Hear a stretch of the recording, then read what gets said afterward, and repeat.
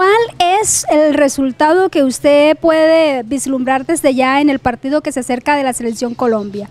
Eh, un partido bueno, eh, Colombia ganando 2 a 0.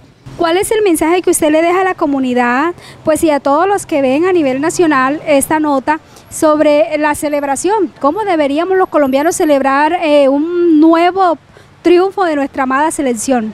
Pues un, triunfo bueno, pero le diría a la comunidad que, sean pacientes, que sean...